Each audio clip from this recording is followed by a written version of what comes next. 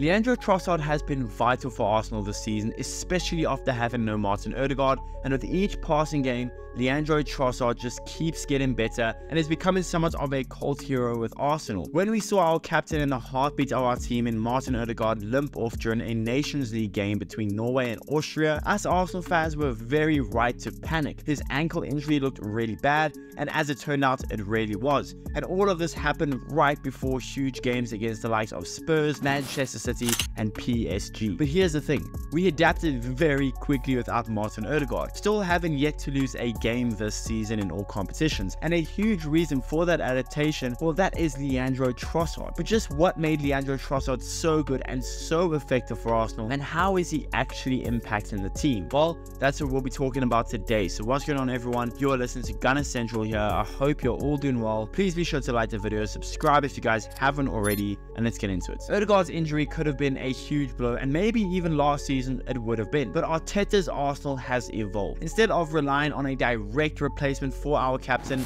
the team has shifted into a kind of new dynamic style. It's not a secret to anyone that Odegaard is irreplaceable, especially with how we play. No one at the club can do what he does. To be able to dictate the tempo the way he does, press from the front, create magic out of nowhere, have crucial assists, lead the team, no one can replicate what Odegaard does. Even someone like Ethan Nwaneri, who is showing promise and maybe in a couple of years may be able to do what Odegaard does, but Ethan right now is nowhere near Odegaard's level. So we were in an issue. So how did Arteta and Arsenal come up with a solution? Well, the solution was Leandro Trossard. Trossard has stepped up big time. While Trossard is not playing in Odegaard's exact role in terms of being a strict number 10, a kind of playmaker midfielder, Leandro Trossard has become a key player and a key piece in Arsenal's new look attack, and it's been working very well. We're now seeing a flexible kind of 4-2-4 shape in possession instead of a strict 4-3-3, and in this shape we have Trossard and Kai Havertz kind of operate as both false nines, with both of them constantly interchanging, one playing higher up as a pure striker while one kind of sits in the 10. They have no fixed positions between those two, both of them dropping deep to overload central areas and allow players to drift out wide to exploit spaces.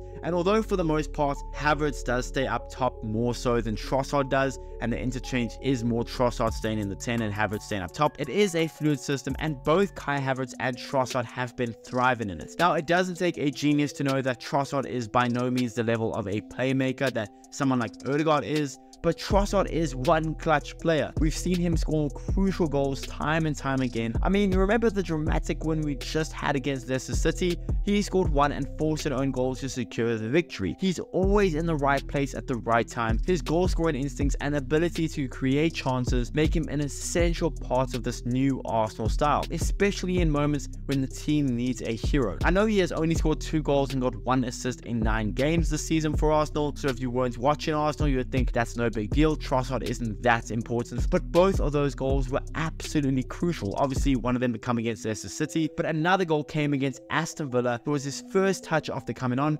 away at Villa Park with the game deadlock. That is clutch. And while Trossard can't replicate what Odegaard does on the ball, off the ball, especially defensively, Trossard more than does his part. He does make some boneheaded challenges and things. I mean, you think about the red card against Man City, even though it's unjustified, but he does make some boneheaded decisions. But defensively, Trossard really does put in a lot of effort, which is something awesome to see because this Arsenal team, we have so many talented players and a lot of them could just be passengers off the ball, but really none of them really are passengers. They're all put in their work defensively. And that is something that Arteta and Edu have harped on, that they want players that will do anything for the badge. And right now, all the players we have, including Trossard, are those players. From Trossard's stunning goal against Bayern Munich to his dagger against Liverpool last season, Trossard has been, since we signed him really, has been a key figure in Arsenal's recent success. And at 29 years old, I can't believe that we only got Leandro Trossard for a quarter of the price that we would have had to pay for someone like Mykhailo Mudryk. Trossard, who is someone four times the player of Mudryk, I can't believe we got him for a quarter of the price.